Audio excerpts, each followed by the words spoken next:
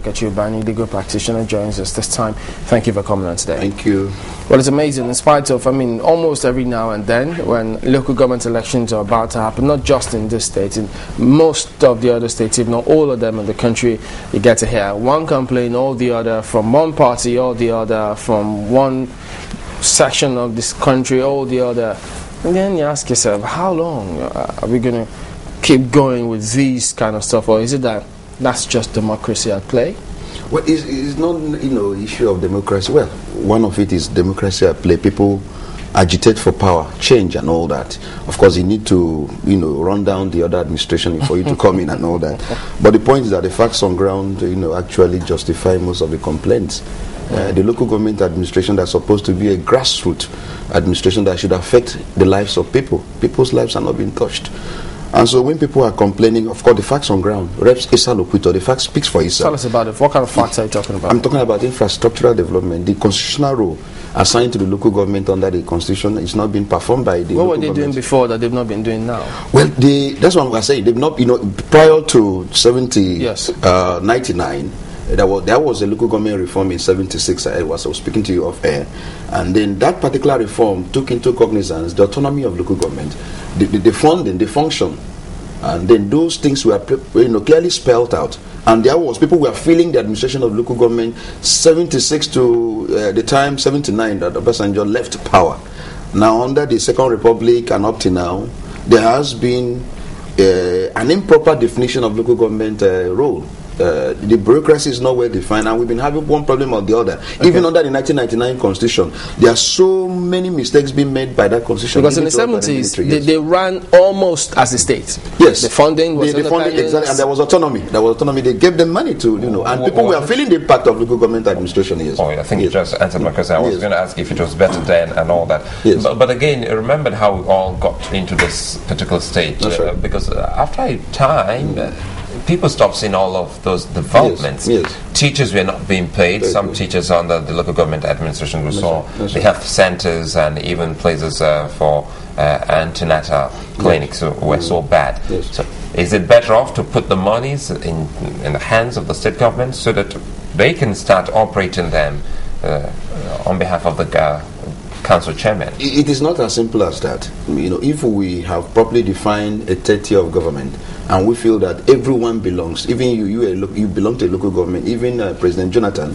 uh, even if Aso Rock is not under a local government uh, uh, bureaucracy, where he comes from, his state, he's under local government. So grassroots uh, uh, politics and democracy is supposed to affect your life and my life, and it has to be constitutional.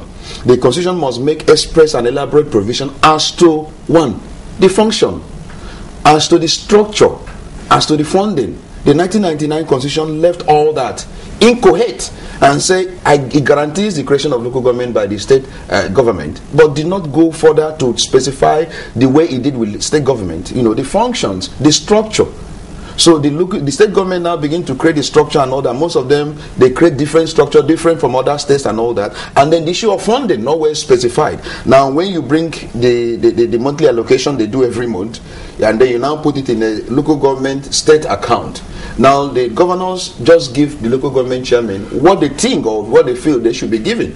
They go and pay salaries and they do some of their and then give them their, their what they call security vote. And then the rest is retained by the state. And that's why you don't see any development any and this is going on in all of the all over the all over the country. So would you say, are you exonerating the local government chairman, as it were, from all blame, even though they're sitting there in name? It seems their Yeah, their hands when, are tied. When they're playing the lame dog, then I, I shouldn't exonerate them because you're supposed to cry out.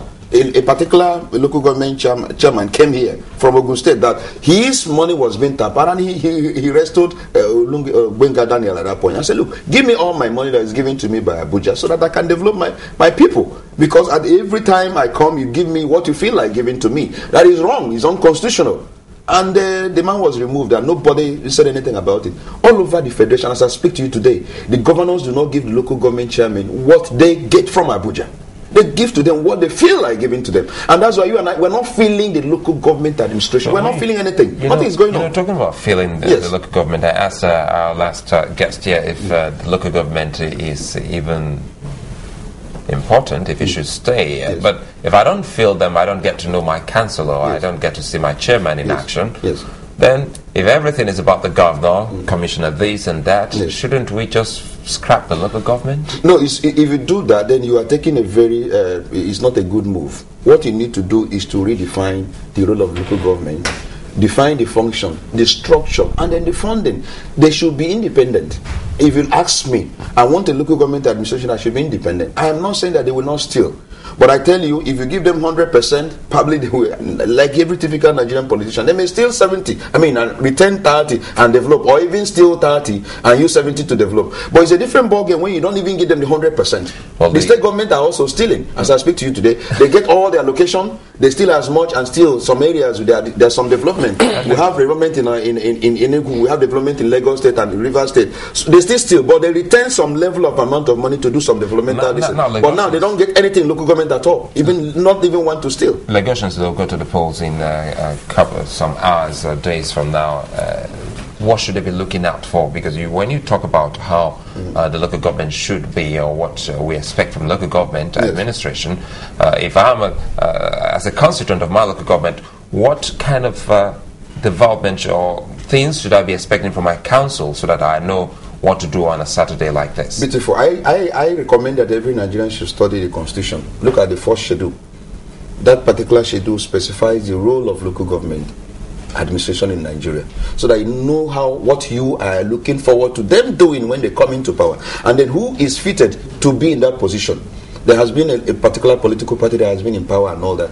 How have the local government administration of that political party affect the lives of people? So people now should shine their eye and begin to look for people that can affect their lives, looking at the role specified by the constitution and what they should do and what they should not do. There are areas that are exclusive to local government. There are areas also concurrent. The state government can also, like issue of uh, health and or even school and all that. La- Lagos state, I mean, the state government in, the local government also does some certain things. But the areas that are exclusive, like issue of burial, market and all that, you know, building cemeteries and all that. These are and then collecting tenement rate and all that. It's exclusive to them. Now then we feel only their presence when they come to collect levies.